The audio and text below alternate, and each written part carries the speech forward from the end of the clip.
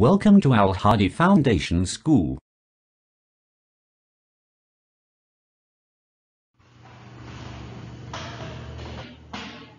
Bismillahirrahmanirrahim. Assalamu alaikum dear students. Students, today we are going to start our maths lecture from chapter number 8, perimeter and area. On book page number 155. The topic is finding the perimeter of a rectangle and a square.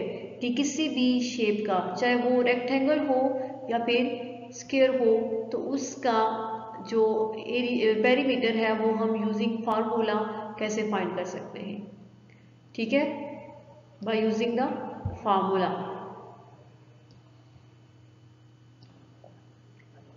अब देखें कि किसी भी close कोई भी close shape जो है, हम उसका पेरीमीटर बाय यूजिंग फार्मूला कैसे फाइंड कर सकते हैं? तो यहाँ पे हमारे पास एक जो है वो स्केयर गिवन है। तो आप लोगों को पता है कि जो स्केयर होता है, उसकी चारों साइड्स इक्वल होती हैं। अब अगर किसी भी स्केयर की एक साइड जो है, वो टू सेंटीमीटर है तो स्केयर तब ही होगा अगर उसकी सारे साइड्स मीन फोर साइड्स जो हैं, वो टू सेंटीमीटर के इक्वल हो। जैसे कि ये स्केयर गिवन है तो इसकी हर साइड जो है, वो एल सेंटीमीटर है। All the four sides of the given square are L centimetre each के जो चारों साइड्स हैं गिवन स्केयर की उस उस स्केयर की हर साइड की लेंथ जो है, वो एल सेंटीमीटर है। इस स्केयर की, ठीक है, सारी साइड्स की लेंथ जो है, वो एल सेंटीमीटर है। तो फिर इसका हम पेरीमीटर बाय यूजिंग फार्मूला कैसे फाइंड कर सकते हैं? पेरीमीटर ऑफ़ अ स्केयर के perimeter of a square is equal to अब यहाँ पे स्केयर की फोर साइड्स हैं और हर साइड्स की लेंथ जो है, वो वो एल सेंटीमीटर है। तो L plus L plus L and plus L ये चारों साइड्स की लेंथ को हमने ऐड करना होगा। तो इसका पेरीमीटर हमारे पास क्या आएगा? फोर एल मीन्स किसी भी स्केयर का पेरीमीटर फाइंड करने के लिए हम उसकी फोर साइड्स को ऐड करते हैं। जो भी उस किसी स्केयर की साइड्स गिवन होती हैं, ठीक है, उन फोर साइड्स को सम अप करके हम उसका पेरीमीटर फाइंड कर सकते हैं।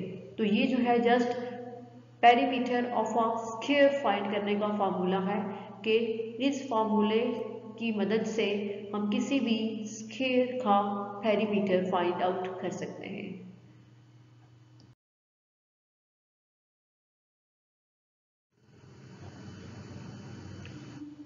नेक्स्ट है कि हम किसी भी रेक्टेंगल का पेरीमीटर जो है, वो बाय यूजिंग फार्मूला कैसे फाइंड कर सकते हैं? और रेक्टेंगल की फोर साइड्स होती हैं और फोर साइड्स में से दो साइड्स जो है, उसकी हमेशा इक्वल होती हैं। यानी कि लेंथ होती है और ब्रेथ होती है। तो लेंथ जो होती है, वो दोनों साइड्स की इक्वल होती है और ब्रेथ जो होती है, वो भी दोनों साइड्स की इक्वल होती है। तो देखिए a rectangle has length, L and breadth B, as shown. कि एक रेक्टेंगल की में लेंथ L होती है और ब्रेथ B, जैसे कि ये रेक्टेंगल गिवन है, इसमें आपको ये दिखाया गया है कि ये रेक्टेंगल है। इसकी ये दोनों साइड्स जो है वो इक्वल है मींस इन दोनों की लेंथ जो है वो एल सेंटीमीटर है और ब्रेथ दोनों की बी सेंटीमीटर है। तो फिर perimeter of a rectangle find करने का फॉर्मूला क्या होगा? सिंस ये साइन मैं आपको पहले भी बता चुकी हूँ कि मैथ्स में इस साइन का मीनिंग होता है सिंस यानी चूँकि। Perimeter of a rectangle is equal to अब इसकी जो फोर साइड्स क्या है? L plus B plus L and plus B क्योंकि पेरीमीटर जो है, वो किसी भी शेप का, जो सराउंडेड एरिया होता है मीन्स बाउंड्री जो लाइंस होती हैं उनकी जस्ट वो उसका पेरीमीटर जो है वो कहलाती है। तो अब ये देखिए L plus B plus L plus B तो अब यहाँ से हम ये दोनों जो लेंथ वाली हैं साइड्स उसको जो है वो एक साथ लिख सकते हैं L plus L and plus B plus B यानी कि सेम टर्म्स को हम जो है वो इकट्ठा कर सकते हैं। तो एल प्लस एल यानी जब हम दोनों एल को ऐड करेंगे तो आंसर क्या आएगा? टू एल और बी प्लस बी जब दोनों बीस आपस में ऐड होंगे तो टू बी होगा। तो two L plus two B अब यहाँ पे देखें टू एल के साथ भी है और टू बी के साथ भी है। तो हम यहाँ से एक टू जो है, वो कॉमन ले लेंगे।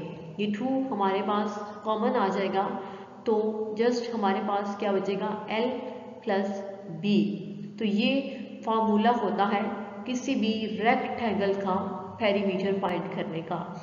आपने देखा है कि स्केयर का पेरीमीटर फाइंड करने का फार्मूला होता है फोर एस या फोर एल जितनी भी उसकी साइड्स होती हैं, उनको सम अप करें तो वो किसी भी स्केयर का पेरीमीटर हम उससे फाइंड कर सकते हैं। लेकिन रेक्टेंगल का पेरीमीटर फाइंड करने का जो फार्मूला होता है, वो है two into L plus B L plus B means length plus breadth कि रेक्टेंगल की जो लेंथ और ब्रेथ होती है, उन दोनों को ऐड करके टू से मल्टीप्लाई करें तो वो रेक्टेंगल का पेरीमीटर होगा। नेक्स्ट है, ये तो था रेक्टेंगल और स्केयर के किसी भी स्केयर का और या फिर रेक्टेंगल का पेरीमीटर हम कैसे फाइंड कर सकते हैं।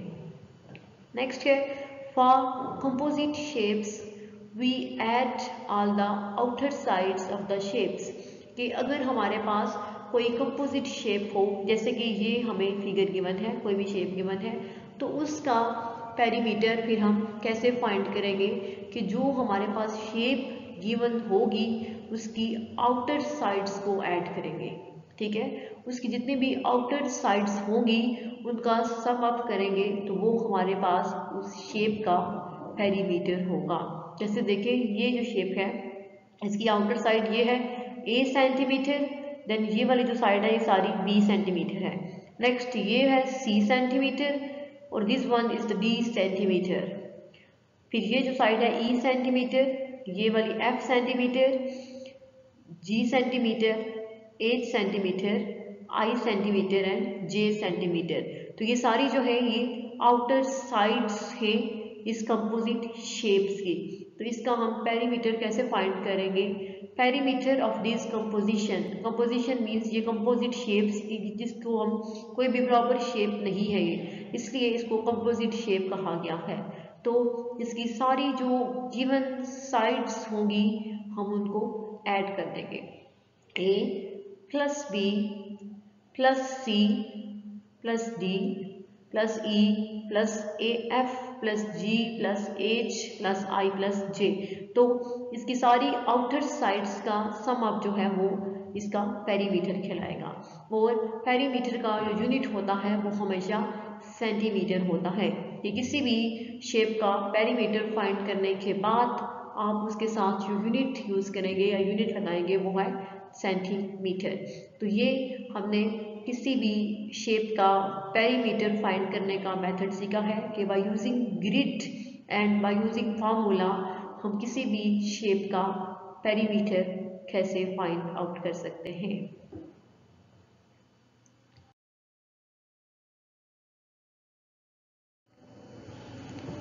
नेक्स्ट अब हम स्टार्ट करते हैं एक्सरसाइज एट ए ठीक है? एक्सरसाइज एट ए आपकी बुक के पेज नंबर 156 पे है। तो और एक्सरसाइज एट ए का क्वेश्चन नंबर वन जो है, वो हमने इसी लेक्चर में सॉल्व करना है। और क्वेश्चन नंबर वन क्या है? फिल इन द ब्लैंक्स कि यहाँ पे आपको कुछ ब्लैंक्स गिवन है, जिनको आपने फिल करना होगा। अब देखिए ए पार्ट क्या है?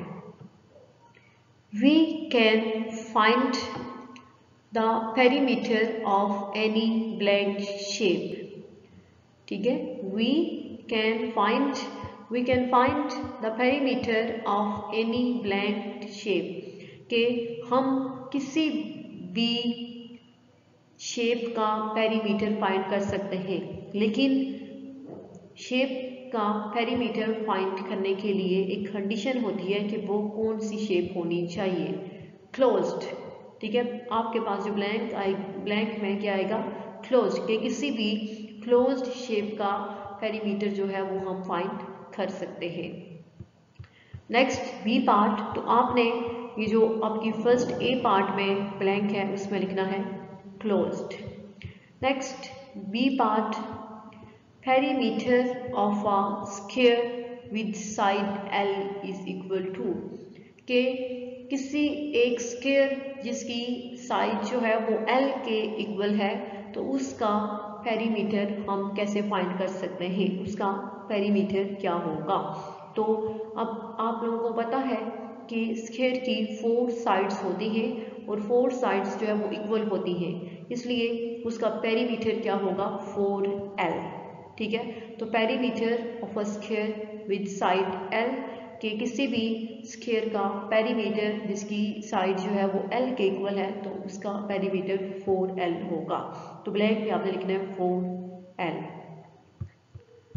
C part perimeter of a rectangle with sides L and B के भी जो रेक्टेंगल है, ठीक है रेक्टेंगल की दो साइड्स हैं L and B means length and breadth तो उसका पेरीमीटर फिर हम कैसे फाइंड कर सकते हैं? तो यहाँ पे ब्लैंक में हमने perimeter of a rectangle find करने का फार्मूला लिखना है। Two into L plus B जो है, वो किसी भी रेक्टेंगल का पेरीमीटर फाइंड करने का फार्मूला होता है, जो कि हमने इसके ब्लैंक में लिखना है। Next D part the perimeter of a square with 8 centimeter each will be. तो वो कहते हैं कि एक स्क्वायर है जिसकी हर साइड 8 सेंटीमीटर है। तो उसका पेरीमीटर क्या होगा? कि एक स्क्वायर है, उसकी हर साइड 8 सेंटीमीटर है, फिर उसका पेरीमीटर क्या होगा? और आप लोग जानते हैं कि स्केयर की फोर साइड्स इक्वल होती है। मीन्स फिर हमने एट को फोर टाइम्स ऐड करना है, या फिर एट को फोर से मल्टीप्लाई करना है। ठीक है? तो एट फोर सा थर्टी टू तो पेरीमीटर जो होगा, किसी भी स्केयर का वो क्या होगा? थर्टी टू सेंटीमीटर ठीक है? तो आपके पास ये जो ब्लैंक है बुक पे, उसमें क्या आएगा? थर्टी टू सेंटीमीटर नेक्स्ट है E part if the sides of a rectangle are two centimetre and five centimetre कि अगर आपके पास एक रेक्टेंगल है तो उसकी साइड्स जो है, वो टू सेंटीमीटर और फाइव सेंटीमीटर है। Then its perimeter will be तो फिर उस रेक्टेंगल का पेरीमीटर क्या होगा? अगर एक रेक्टेंगल है, उसकी साइड्स क्या है? Two centimetre and five centimetre तो फिर उस रेक्टेंगल का पेरीमीटर क्या होगा? तो बाय यूजिंग फार्मूला देखें कि यहाँ पे लेंथ अगर टू हो ब्रेथ फाइव हो तो टू प्लस फाइव सेवन तो सेवन को इस फार्मूले के अकॉर्डिंग जब हम टू से मल्टीप्लाई करेंगे तो सेवन टू ज़ा फोर्टीन इट्स मीन कि उस रेक्टेंगल का पेरीमीटर क्या होगा? 14 सेंटीमीटर। तो इस ब्लैंक में आपने लिखना है 14 सेंटीमीटर। तो आज वाले लेक्चर में हमने एक्सरसाइज 18 का जस्ट क्वेश्चन नंबर वन और किसी भी क्लोज शेप का perimeter by using formula find करने का मेथड डिस्कस किया है। तो नेक्स्ट लेक्चर में इंशाल्लाह हम एक्सरसाइज 8 ए के बाकी क्वेश्चंस को डिस्कस करेंगे। Allah Hafiz